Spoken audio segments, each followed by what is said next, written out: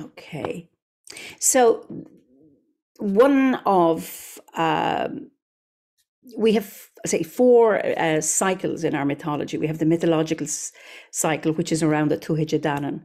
Uh, we have the the Red Branch cycle, which is about Cuchulainn. And we have the Fenian cycle about Finn McCool and Usheen, and we have the King cycle, where you'll hear about Cormac MacArt. So the story today is um, from the mythological one. Um, one of the main stories from that is about the, the, the second battle of Moytura, where there's a big battle between the Danann, and who were the occupiers of Ireland and the evil Fomorians. And Balor was their king, uh, who held uh, the people of Ireland hostage. And uh, Lugh is the, the, the hero in that, and he slays his grandfather uh, and saves Ireland. So, what happens in a lot of these stories is that there are various characters that might get some mention and then they seem to disappear. So, there is a character, uh, Birog, who's a druid, and uh, she get, she has an important role to play, but then disappears from the story. So I'm going to tell that story now from her perspective. So bear with me. So you've heard the story of Lugh, the great warrior. Lugh, Lámhfhada, Lugh of the long hand, Lugh Samildánach, Lugh, the many-skilled one, and how he saved Ireland and his people, the Tuatha from enslavement and terror at the hands of Balor Nasula Niva, Balor of the Evil Eye. And in that story, there are two references to a little druid woman called Birog, who now I am that little druid woman. I am Birog. And might I tell you, I am only little on the outside. So I'm going to tell you the real version of the story. I've been on this land a long, long time, and sometimes I'm known as Birog na Shleifta, Birog of the mountains. Well, I lived on the northwest coast of Ireland in Donegal. Balor, he had a stronghold on Tory Island, just off the coast of Donegal, and he was the evilest, ugliest, most horrendous creature ever. And he had one eye in the middle of his forehead. Now, how he got that one eye is a story for another time. But what I can say is that it took 20 warriors with ropes to pull up his eyelid. And all Balor had to do was look and anyone or anything he laid his eye on was instantly burned to a cinder. Balor held the whole island of Ireland to ransom. Every year, at an appointed time, he demanded children, women, cattle, horses, mead, crops as a tax from the people. And the Tuatha Dé Danann, for all their magic and all their power and all their skills as warriors, couldn't do anything to save themselves from the evils of Balor. Now, this wasn't helped either by the fact that Bres, the king of the Dé he was half Fomorian and half Dé Now, why he was elected, I'll never know. But such is the way with democracy. It was as bad then as it is now, with so called sensible people electing tyrants or idiots into power. And as I say, Bres was half Danann, half Fomorian. On the outside, he was very handsome and very charming, and that was his Tuatha side. Inside, he was evil and vile. That was his Fomorian side. Bres, unfortunately, colluded with Balor, and nobody could do anything to stop him. Now, needless to say, I was getting very, very fed up with this situation. It seemed to me that if the people of Ireland were not going to use their skills in magic or their skills as warriors, then I had to do something about the situation. So I became what you would probably call in these times a secret agent. I flew all around Ireland collecting information. So, Balor had a wife, Caitlin, she of the crooked teeth, a witch who could easily match Balor in terms of temperament, spirit, and soul. They deserved each other, two of the ugliest, evilest people ever to have walked this land. And one of the great mysteries was that they produced a beautiful little girl who had the sweetest of temperaments, with beautiful green eyes and long golden hair. I was present on the night she was born, and they called her Ethna. And it was the custom in ancient times that when the child of a king or a chieftain was born, that a druid was asked to consult the stars and to prophesy a future for this child. Now, there was another druid present on this night who prophesied that Balor's daughter would bear a son and that this son would kill his grandfather. Immediately on hearing this prophecy, the people called for the baby to be killed. Now, this was my chance to act. So I took Balor aside and I persuaded him not to kill his daughter because it would make him appear very weak if it looked like he was afraid of a mere baby. I suggested that he keep him away, keep Ethna away in a tower, away from men, or away from conversation by, about men, that he be that she be taken care of by women. And I said that, well, if she never saw or laid eyes or heard of a man, then the prophecy would be averted. Balor, with his one eye, although he fancied himself as a great seer, wasn't as clever or as bright as he thought he was. And he fell for my ruse and agreed with my suggestion. And so it was that Ethna was taken to a tower on Tory Island to be cared for by servant women, and they were given instructions that on pain of death they were never, ever to mention man or to let Ethna see one. And she grew up on a tower in the presence of these women, now, it must be said that these women loved her dearly and they cared for her as if she were their own. But she spent much of her life alone. There were no other children to play with. Her playmates were the wind and the sea and the sun, the moon and the stars, and also the birds. And they used to sing to each other. And Ethna knew every nook, every cranny, every blade of grass on the island. So she was happy and content. Occasionally, her father would visit, and it would put the fear of the dour Coor into her and into all of the women as they'd hear him thundering across the island. Ethna was petrified of him, for although he was her father, she held no love for him. She was always terrified that he might one day open his eye and look at her, and then she would be burned to a cinder. And she would recoil as far away as she could and hide behind the women's skirts for fear of him. And so the years went on, and I kept an eye on things on Tory Island from my cave on the mainland. Ethna grew up into be a beautiful young woman. And she told me years later that although she was happy living with the other women on the island, she could sense that there was something missing in her life. There was a deep longing in her heart. A part of her that was missing, but she couldn't name what it was. And she described how she would stand at the ramparts of the tower, looking out over the sea towards the coastline of Donegal, looking for something, not knowing what it was, but deep down having a sense that she would know as soon as she saw it. In the meantime, there was this handsome looking man called Cian. And he too was having dreams of a beautiful woman with long golden hair and blue green eyes and he could see her looking out from a tower across the sea. And Cian had such a longing for this woman, and he sensed that she was looking for him. So he came to me in the hope that I might identify this beautiful woman who haunted his dreams. He insisted I tell him who she was because he couldn't live without her.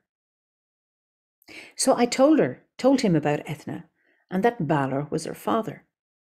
Now, it so happened that Cian had this magic cow that never stopped producing the sweetest of milk. It was called the Gashgavlin. Balor had tricked Cian and stolen the magic cow. But that is a story for another time. Cian, because of the dreams he was having of Ethna, was less interested in the cow now, and he begged me to take him over to Tory because he had to meet her. I agreed on condition that Cian did exactly as I told him. And he was very well aware that this was going to be a very dangerous mission, and he agreed. I dressed him up as a young woman And I flew him over to Tory, and we landed on the far side of the island from where Ethna was with her women. We threw water over ourselves and walked towards the tower. We knocked on the door and told the woman who answered that our boat had sunk and we needed some shelter for a while. She bade us welcome, but warned us under no circumstances were we to make any reference to man or men. And we agreed. Now, the women had lived in such isolation, they were so glad to have new company. And we spent a wonderful afternoon together, regaling the women with stories of the outside world, and they were so hungry for news. All the time, I could see Cian looking at Ethna. He was mesmerized by her beauty.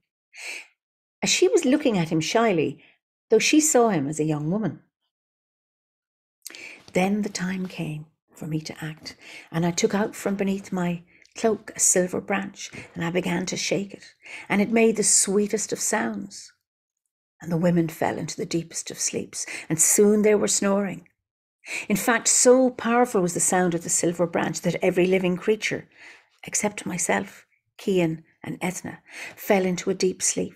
The mice, the hares, even the birds, even the sea and the wind were quiet and still.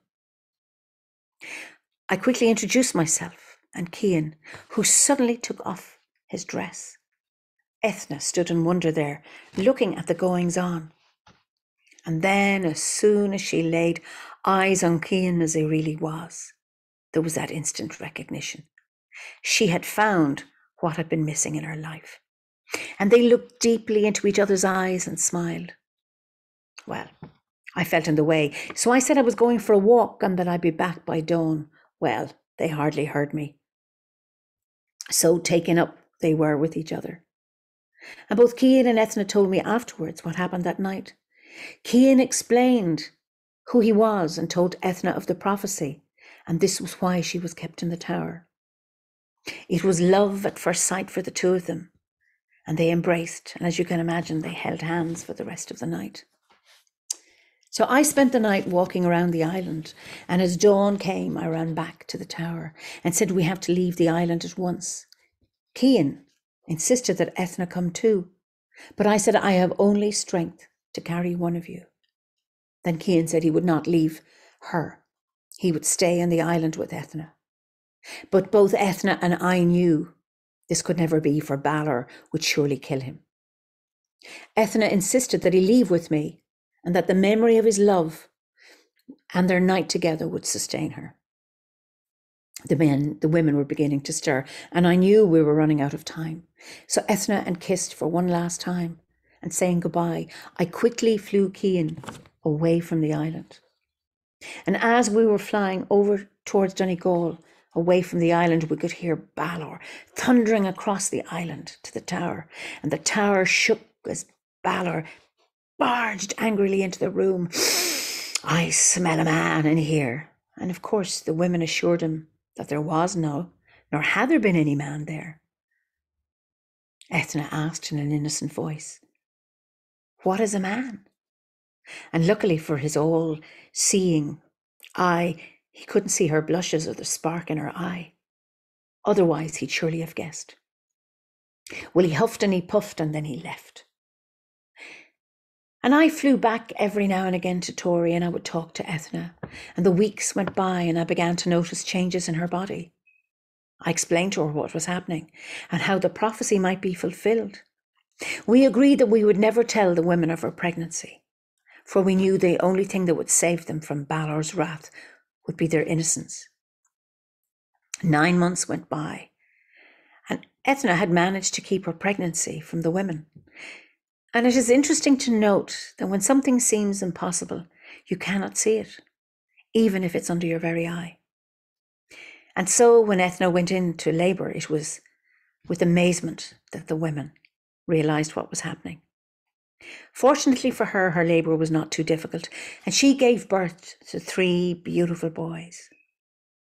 And she loved them as soon as she laid her eyes upon them.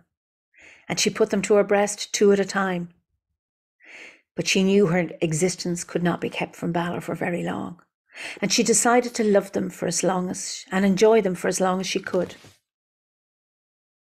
We had arranged that when the time came, I would take her babies and have them cared for. Which of course was not very long at all.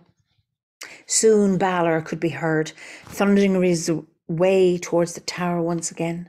The whole island trembled and the waves crashed frenziedly against the cliff as if in fear of him. He burst through the door in a wild rage, screaming that he had been betrayed. And although his eye was closed, he could somehow sense Ethna's three babies, and he came across the room towards her, grabbed her babies from her. These had been wrapped up in a blanket tied with a pin, and he said he was going to kill them. Ethna followed him, begging him not to kill her babies. But it was no use. He marched towards the rampart and he threw the babies over the cliff. And as the bundle was falling into the sea, the pin opened. And one baby dropped out into the sea, and then the second baby dropped out. And we're lost. And I had been flying at that time quickly towards the island, and I managed to get the last baby and save him before he fell into the sea. Balor didn't notice this, fortunately, and he left smug in the belief that the prophecy had been averted. I looked up at the parapet and saw Ethna looking down, broken hearted at the loss of her babies. I nodded to her and flew south towards Donegal again, and Ethna stood on the parapet watching me take her son safely. She called out to me, Please take care of my son. His name is Lugh, the Shining One. Ethna told me later that she had prayed and prayed that her son would be safe and would grow up to be big and strong and that he would fulfill the prophecy about his grandfather. This, this gave her a reason to live. With the love she had shared with Cian on that one night and the love she had for her son Lugh, she had the strength to withstand the loneliness of living on the island without her man or without her children. And she told me that later that she was aware that this loneliness was the price that she had paid for love and for knowing love. And she said she was pleased to say that it was worth it. Having left Tory Island, I flew to my cave in Donegal to rest for a while before taking the infant Lugh to Tailteann to be fostered by her. Ethna and I had agreed we would keep Lugh's existence a secret from the women, but also from Cian and Lugh, for we knew that if Cian knew, he would go in search of Lugh. And then Balor would find out, and then they would both be in danger. And again, over the years, I would fly over to Ethna and fill her in on how Lugh was doing, how he grew up to be a fine and honourable young man, how he was skilled at so many things. And I really enjoyed telling her how he had gained entrance into Tara and how he gained the name Lugh the Many Skilled One, Lugh Samildánach. Oh, she was so proud of him. And it was a very sad day when I had to tell her of the death of Cian. She was heartbroken. She had secretly hoped that one day the prophecy would be fulfilled and that she and Cian would be together once more. But alas, that was never to be. Years passed, and I and the Dé were getting tired of having to pay tributes to Balor, and I encouraged them to fight back with Lugh as their leader. And so a great battle, known as the Second Battle of the Loitura, ensued between the Dé and the Fomorians. In this battle, slew, Lugh slew his grandfather using a, shli- a, sling, a slingshot, which pushed the eye out of his head, and it landed in front of his own men, who were instantly slain. The Fomorians were defeated, and quickly they left the island of Ireland. The prophecy had been fulfilled. There was peace at last on the land. After the battle, I went up to Lugh and I told him his, of his real identity and of the prophecy. And when he heard this, he wanted to meet his mother. So quickly, I took him to Tory. She recognized him immediately. Ah, he was so like his father. And their reunion was so joyous. And despite the years apart, it had felt as if they'd always known each other. And of course, at some level, they had. Lugh took his mother and her women to live with him in Tara, where they lived happily until the time came when they had to pass through the veil to make room for the new people, the sons of Mill. Remember Lugh's two brothers who had fallen into the sea before I could save them? Well, they didn't perish. They were taken care of by the seal people. They are our selkies, and they can be seen today swimming around the island of Tory, and sometimes they even come ashore. My story is at an end now, but before I go, remember it was the women in this story that the Tuatha were able to free themselves from the torment of the Fomorians. Shine.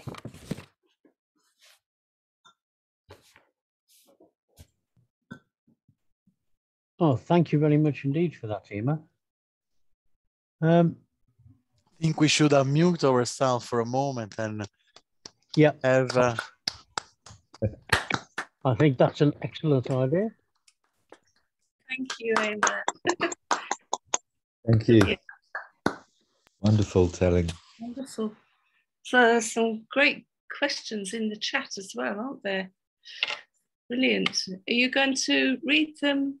Mm, we don't have questions or comments in the chat uh, yet. No. So, um, oh, sorry, no, we don't. No.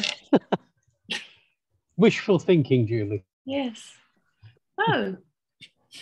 But I, I guess love, the story was the little bits of humour. The um, little bits of humour when you said about uh, the one, the one with one eye, yes. who thought he was a bit of a seer. that was kind of um, delusions of grandeur kind of thing. It was interesting. Yes. Yes. It was a very nice play on words. Yes, it's very good. Thank you. I'll ask a question actually, uh, yeah. Eimear. Sure. Um, you said about the, the Selkie. Are they related to the Fae in Irish tradition?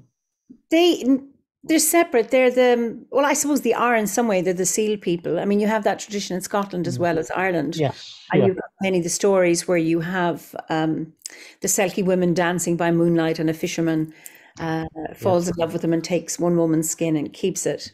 So uh, that's a very strong one. That's also here in Ireland, and in Tory Island particularly, they believe that the seals there are the brothers of Lugh.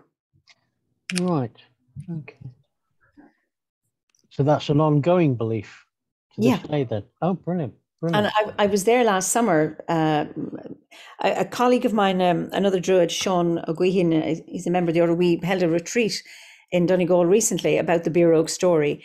Um, in the landscape. So we went to Tory, but I was there last year with him and there were seals there and just watching them with their beautiful brown eyes, just one was on the, on a pier, on a, a slipway and then just swimming around. You just clap your hands and they just came uh, just very close to the surface, these magic eyes. It was just pure magic. And then I'd heard that, yes, these are um, uh, Lugh's brothers. Just a beautiful, a beautiful story. Hmm. We've got a question uh, in our chat by Martin. Hi, wonderful telling. Thank you so much. Can you comment on the role of the daughter mother imprisonment in a tower? This seems to be a recurring element in myth and folklore. Yes, it is. And I suppose uh, when this is normally stories like Birog gets two mentions and then she's gone. She's of no relevance at all. And when you think as is the mother Ethna. And so often in stories, you know, women just give birth and that's it, goodbye. But actually, they are crucial to the whole story.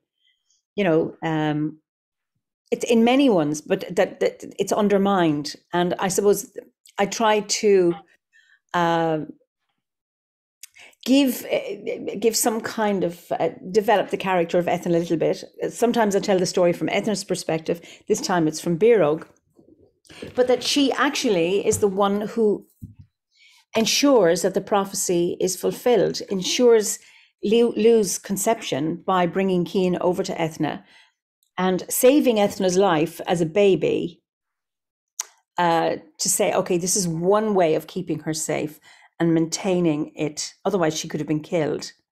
And it's not the first time that a prophecy has been made by about a female baby causing problems, where there's a wish to kill her uh, there's another one with um, Conor MacNessa when um, Deirdre of the Sorrows is born. It's prophecy that she will be very, very beautiful and that she will cause bloodshed. Again, blaming women and beautiful women for causing all sorts of things. And there's a call from the Red Branch Knights, the Ulster Warriors, to kill the baby. And Conor MacNessa says no. He gives the impression. Sorry. Oh. Sorry. No, it's my computer. Sorry. Okay. He, he he gives the impression. No, no. We'll. I'll save the baby, and we'll have the baby cared for. But he decides he's going to marry her. He's an old man by the time she grows up, and she falls in love with another young man, and they have to flee, and he kills them. But again, it's that um, either women of no consequences or are dangerous and uh, uh, are, are causes of battles and and and so it's around, I suppose, looking for the power of women in these stories. And Birog uh, is a very, very powerful character. Thank you for that. We've got another question um, by Emily. Um, do you have any pictures of uh, uh, the folk represented in the story? Of the people? No, actually, I don't. You mean of the, of the characters? Uh, I th- yes, I think Yeah. this is what Emily is referring Yeah. to. Yes. I don't actually know. Ah, I'm not an illustrator. I think it's it's, it's yes. Um, I don't know. mhm. I guess it leaves more space to imagination and uh, each one's personal um, creativity in this case. Um, there is There, a there is there is somebody who does illustrate. Sean Fitzgerald. Um, gee, I'm somebody's nodding. Is that Lisa? Yeah, he's an illustrator and he's from Donegal. And uh, so Sean, my friend, has written a book, or he tells the story, Lugh, uh, and in the and it's uh, in Irish by Cathal Sharkey, who's an Irish poet, Irish language poet, and then Sean does the illus- illustration. So Sean Fitzgerald, if you Google him, you will find. I see Martin says, uh, "Okay for art." Uh, okay, so Martin is going to send a link. Uh, he's he's a beautiful uh, illustrator. Is is Sean? So uh, yeah, you've got his name there. So if you Google him, you'll find him. That's fantastic. We were we have as well another question. Who were the Fomorians? The Fomorians were these ugly beings, the baddies, uh, who came from the north.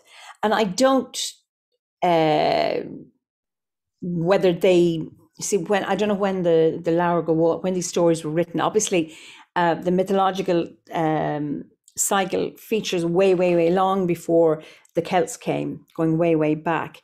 But they weren't written until, written by the monks. Uh, uh, whether they were people from the north, maybe conflated with um, with the Vikings, I don't know. But they were the baddies who were ugly, deformed, evil, where the Tuatha were beautiful, magical, etc. No, obviously highly flawed as well. So Balor, uh, they were pirates, so they demanded tribute every year from from the people of Ireland. But there was intermarriage. So like Lugh was half Fomorian. So Ethna was Fomorian, but she was she was beautiful. Um, so he was half and half. Um, Bres was half and half. So it wasn't that they didn't um, intermarry. It was just Balor was particularly evil. Um, Thank think you you very may well. much. think I also may- have a question. Oh, sorry, Emily. I was just going to say, I think you may have hit the nail on the head there with the the linkage possibly in the past with the Vikings, because that was a known pattern of behavior with them as well. So yes. Um, I also have a question. Um, I I'm completely ignorant about Druidry today, but uh, and Druidism, but um, I'm quite interested in how much do you think um, uh, storytelling is a, a vital part of of the the religious tradition now that we all live um, how much uh, what what sort of space occupies in in the practice and in the training of a of a contemporary druid Storytelling is very important. So, um, within um, the order of bards, ovids, and druids, we have three levels. It's not hierarchical, but there's a pathway. you follow. And the first one is the bardic one. So, and central to Irish culture in the past and in, in, in, in Britain and Gaul, where we had primarily Druids, telling stories is very, very important. I think, I don't think there's any tradition where there isn't a storytelling, any culture where there isn't a storytelling tradition. So the bards are very, very important as stories for, as parables or uh, disseminating news or uh, reminding us of the past. I think it's crucial. Um, and even this is an old story, but you know, I say that people elect idiots into power who are abusive. And I mean, we have Balor characters in power in the 21st century. I'm sure maybe you could think of one or two. uh, and how powerless we are to manage them. And when you look at the destruction, how they're either, uh, you know, demanding ta- tax, crops, destroying the landscape, or whatever it is, people's power, it's still there. It's an old theme. And maybe we need a few more Birogs to uh, do something about this. Uh, okay, in that sense, it's it's it's um, uh, getting a sniper to with a slingshot to do it, but uh, somehow how we elect people into power and hand over our own power and not reclaim it. And I suppose that you know in the story is that even the Tuatha Danann for so long, with all their magical powers, somehow weren't able to do something, uh, do anything about it. And often we get into a place of helplessness around, well, what can we do mm-hmm. about the state of the world? And maybe there's something around get the beer in all of us just to kind of wake up and say, maybe I can do something, maybe I can make a change, even though I'm small, or even to think about it. Thank you very much for this answer. It's exactly what I was uh, uh, interested in. Uh, we've got a comment from Martin. I've heard that the Fomorians may have been derived from old Irish words that either mean underground phantoms for more or sea monsters, an old use of more. They yes. seem similar to the Nordic uh, Jotnar, chaotic beings that oppose the Norse gods. They could well be, because more is another word for, for the sea, and uh, faoi, war, would be under the sea. So faoi is the one word for uh, under. So it could absolutely be, yes. I I, I didn't obviously um don't work I don't uh, speak Old Irish, but more it's the Indo-European root for for for sea. In fact, in Italian we still call it mare, yeah. and it's interesting because it's Indo-European and it means a big lake because the the the people from that part of the world didn't really know the sea, so they thought it was a big lake. This is oh, okay. a, a very interesting link that you just uh, brought up. Uh, thank you, Eimear, and thank you, Martin. We've got another comment from uh, another question from Sharon. Are there more stories about taking birth omens from the stars. Is there more in contemporary Druidism about this practice? Okay, just I've got to read the question because just I'm not sure I understand it. Okay, is it there on the chat? Sorry, yes. Yeah, yeah Sharon Rowe. Taking birth omens from the stars. Is there more in contemporary Druidism about this practice? Well, there are the stories, like I just mentioned, the one um, about from Cormac, the stories of the sons of Usna, where um, it's prophecy that Deirdre is going to uh, cause a lot of problems. That's one big, big story. Um, and um, the, the, in any of the stories, there was a tradition, you know, where the king would look, like I say in the story, or a chieftain, that there would a druid would be asked to, to divine the, the child's future. That would have been very, very important. Um, whether that's big, we don't teach that particularly in Druidry because I'm not a diviner, but people have, there's lots of divination tools that we use within Druidry. There's Ogham and there's, you know, tarot. We have animal oracles that Philip and Stephanie Carr-Gomm have developed, plant oracle, the Druidcraft Tarot. There's other members who have created their own uh, divination systems that are really, really useful. Um, and then there's astrology as well. It's not my forte, but it is for many druids. So uh, druidry is so broad that you can't. Well, I can't anyway. have an expertise in all of it because it's storytelling, it's herbalism, it's star lore, it's divination, it's writing, it's it's a, and healing, it's teaching, celebrancy. It's very very broad. So we, I suppose, choose our own areas of of of of, of interest. But divination is is is is is an important part of Druidry for those who have the skill to do it and, and the interest.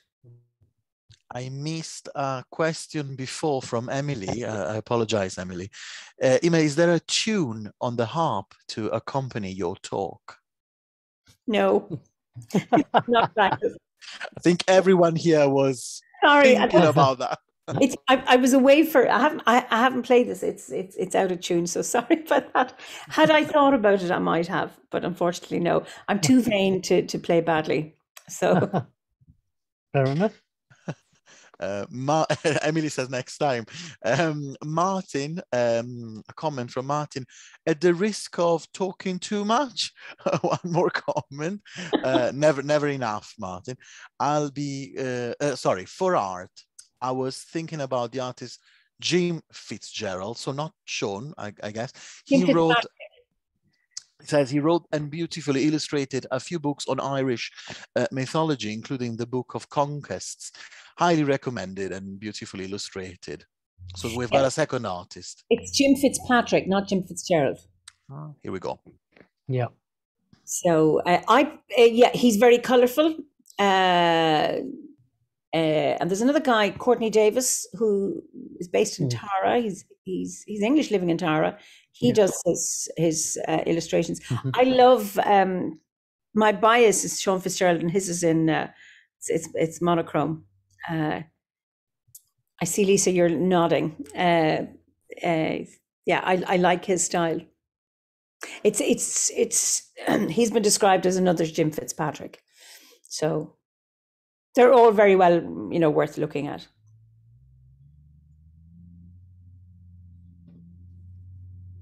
Okay. Somebody's going to play at the end. That's good. I don't know who that is. Julie. Lovely, Julie. well, we just got to decide when the end is first because it's only just one whiz on the chimes. ah. Magical. or we could go that way. so, there we so we could have uh, also a little bit of music to accompany yeah, the storytelling. Well. yes. Um, I don't see any more questions on our chat. No, no. me neither. Well, that was wonderful. Um, it's recording I'll stop the recording now then if we haven't got any more questions to save space. Yes? No one yep. else? Yeah.